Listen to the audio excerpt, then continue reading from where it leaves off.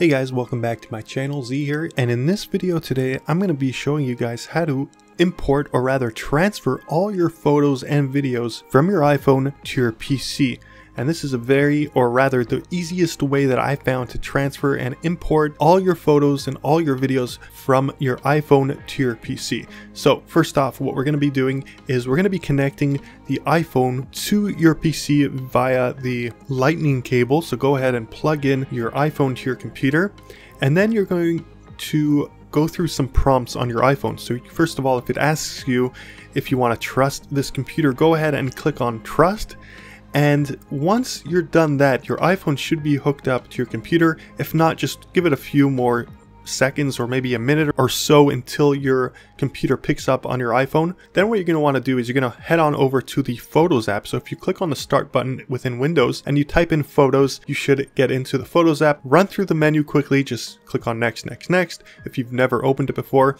And then what you're going to do is if you look on the top right, you're going to see where it says import. You're going to go ahead and click on import and you're going to import from a USB device. So generally it's the second one from the top. So there's only two options currently. So you just scroll to the second one on the menu and then you import from a device and then give it a few seconds until it registers your iPhone and then it should have all of your images on the screen. So if you go ahead again and click on import from a connected device, it looks for photos and videos and you just give it a few seconds uh, depending on how fast your computer is and it'll find all the photos on your iPhone. And this is also depending on if you hooked up your iPhone correctly to your PC and went through all the prompts correctly. You might want to do that again if your photos and videos have not yet opened up. Now, it's going to ask you where you want to import photos to. So go ahead and choose a destination. So my photos are going to be imported to C, users, Z, and then pictures. So that's a very common area where the photos get sent to. So you can leave it at that if you want. And then where it says select, you're going to go ahead and click select in the drop down menu. And then you're going to click on all items. So you can go ahead and click on all items and it's going to put a check mark by every single item here. And then you have that option of delete original items after import import. So I actually went ahead to test this out to see if it works. And unfortunately,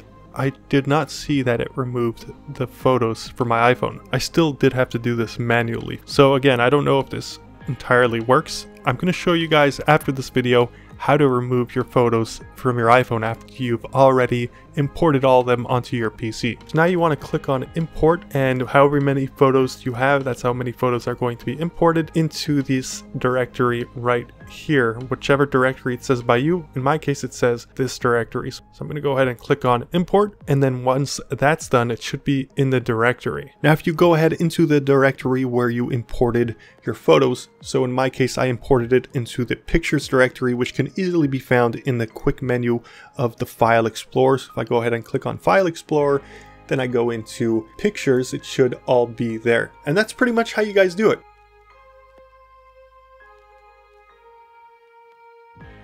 Now if you guys wanted to delete your videos and pictures, you would have to do this manually on your iPhone and the easiest way that I currently found was going into the Photos app and then pinching in so that you can zoom out of all your photos, then click on select at the top right corner.